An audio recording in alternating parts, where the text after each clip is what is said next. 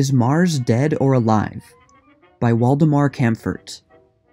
The Forum, August 1924.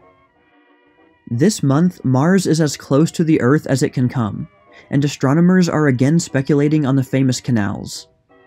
It is hard to resist the belief that they were constructed by intelligent beings, who used them to transport the extremely meager water supply of their planet. As far as we can infer, a Martian, if he exists, is three times as tall as an inhabitant of the Earth, only one third as heavy, and 81 times more effective. But his race is nearly run, for he lives, terror stricken, upon a senile planet. Turn the telescope upon Mars, and what is it that greets the eye and arouses a sense of cosmic companionship? A globe with a diameter of 4,230 miles, only slightly more than half that of the Earth. A globe with white polar caps that disappear and reappear with seasonal regularity. A globe which changes in hue from ochreous red to bluish green and back again, as spring, summer, autumn, and winter come and go. Above all, a globe wondrously cobwebbed at certain seasons with lines, the so called canals, so startlingly artificial that they arrest the attention. To seek in these features and in these seasonal phenomena evidences of intelligent life seems, at first blush, as difficult as to discover the existence of sand fleas in the desert of Sahara from the top of some distant mountain. Yet there is good reason to conclude that the surface of Mars has been molded not only by nature, but also by intelligence. For by assuming that intelligence has applied itself, can the highly artificial canals be satisfactorily explained. To the late Professor Percival Lowell and the late Professor William H. Pickering, we owe the most minute and accurate studies of this Martian surface that have ever been made, and to Professor Lowell the highly ingenious and plausible arguments on which a belief in a wonderfully endowed race of Martians must be based. Life as we know it must be defined in terrestrial terms. It is the resultant of many circumstances, some purely astronomical, some physical, some chemical. That Mars fulfills the astronomical and physical requirements, all astronomers are now agreed. Thus, its orbit, while not so circular as that of the Earth, assures a supply of solar energy sufficiently constant in quantity and quality so that the planetary surface is not subjected for long periods to unendurable extremes of heat and cold. Its inclination to its orbit and its day, almost exactly as long as ours, are such that the whole surface is alternately warmed and cooled at frequent intervals. Lastly, it has mass enough to hold at least a tenuous atmosphere. When we examine the chemical conditions, we stand upon somewhat less certain ground. If there is life, there must be air, and there must be water.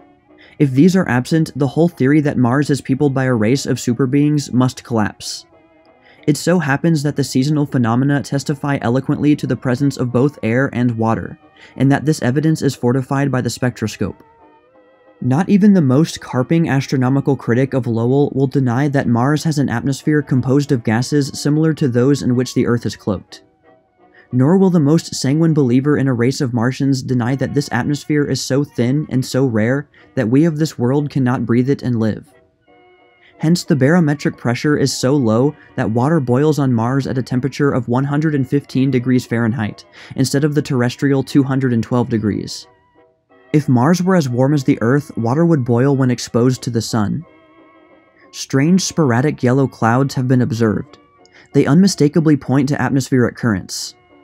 Mists, too, have been seen at the poles. Despite clouds and mists, weather prognostications are hardly necessary. Day after day, the sun beats down pitilessly. Night after night, the stars gleam persistently in the cold, inky sky of the tropics. Yet this rarity of the air, this absence of tempests, is no proof that life cannot exist. Animals and plants are found on some of our highest mountains, where the air is not much denser than it is on Mars. Those who oppose Lowell argue that because Mars is not protected by an atmospheric blanket as thick as that of our Earth, its surface temperature must be hotter than any known form of life can bear during the day, and several hundred degrees below zero during the bitter night. But Lowell's application of physical laws, coupled with what the observers agree occurs on the surface, indicates that Mars must have a mean temperature of about 48 degrees Fahrenheit. That of the Earth is about 61 degrees. There are no billowing oceans on Mars, no vast inland lakes, no stupendous waterfalls, no Amazons and Mississippis. The planet is a huge desert with no elevation higher than 2 or 3,000 feet. Its pitiful supply of water is collected at the poles. Lowell has estimated that the Earth has 189,000 times more than Mars's pittance. Pickering has calculated that if 20 feet of snow fall over a polar area, an ocean 2,000 miles in diameter and only 2 feet deep would be formed in four of our months during the process of melting. This would be about the amount of water contained in one of our Great Lakes. Imagine Europe, North and South America, Asia, and Africa reduced to this tragic pass for water. We would hoard every drop of it. We would sink our international disputes, our political jealousies and rivalries in solving the one all absorbing economic problem of slaking our thirst, of growing vegetation for ourselves and our animals, of enlisting every technical aid to transport the water yielded by the melting Arctic and Antarctic snows to those regions of our temperate and torrid zones, which, if properly irrigated, would still be fertile. If Mars is inhabited, its people must long ago have formed an international organization to dig trenches over the whole planet in the struggle for life. What the annual inundation of the Nile was to the Egyptians for centuries, the unlocking of the polar snows must be to these hypothetical Martians. Lowell was not a romantically inclined amateur scientist, but a specialist in astronomy. He devoted his life and his fortune to a study of Mars in an observatory built at Flagstaff, Arizona, in an almost ideal atmosphere. His observations have been confirmed for the most part by astronomers who have examined Mars under equally favorable conditions. His daring conclusion that Mars is alive and that in the changing hue of the planets and in the seasonal appearance and disappearance of the canals, we have the evidence of intelligence, while not generally accepted, deserves respectful consideration because it explains convincingly and simply what actually occurs. Suppose that we adopt Lowell's startling conviction. What manner of beings are these Martian canal diggers? We can make a few deductions from the mere size of the planet for important consequences follow from the relatively small mass of Mars, one-ninth that of the Earth. The attraction of gravitation must be less than it is on the larger Earth. What we call a ton would weigh but a third as much on Mars. Paradoxical as it may seem, the smaller the planet, the larger and more agile must be its people, and the taller its grasses and trees. A Martian weighs only a third as much as he would on the Earth.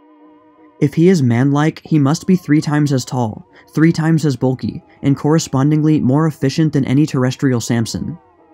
Because of his greater stature and bulk, he must have muscles 27 times as effective as those of a Samson under similar gravitational conditions. But since he is on Mars, where 3 earthly pounds weigh but 1 pound, he is actually 81 times more effective. To this supposed Martian, our game of tennis must seem an amiable form of ping pong. He can drive a tennis ball two and one half times as far as an earthly champion. If he is a coal heaver, he can pick up several hundred weight and toy with it. He can do the work of 50 or 60 terrestrial laborers, and throw canal dirt in quantities that would compare favorably with those scooped by a Panama steam shovel. Not only is he strong, if he is like a man, but vastly more intelligent. Evolution surely sways Martian as well as terrestrial life. Mars being physically older than the Earth, it must have developed a high type of intelligence long before the dinosaurs became extinct or man made his appearance. Probably our civilization is but a crude manifestation from the Martian standpoint. We must be even more primitive than cavemen compared with the engineers who dug Lowell's canals. In truth, we are several million years behind the Martian times. The people of Mars may well have invented, years ago, mechanical contrivances, among them excavators, compared with which ours seem ridiculously crude and inefficient. To deduce the actual physical appearance of a Martian would be a matter of much bootless speculation. It is not even necessary that he should resemble man. We know too little about the chemical conditions that prevail on Mars to hazard even a guess as to the appearance of a Martian canal digger. Moreover, man happens to conform to a very definite chemical prescription, and we have no reason to suppose that precisely the same prescription has been filled on any celestial body other than the Earth. We cannot even predict what manner of creature would evolve from man if the temperature of the Earth were gradually raised or lowered through ages to come, with far-reaching changes in environment to which the human organism must adapt itself.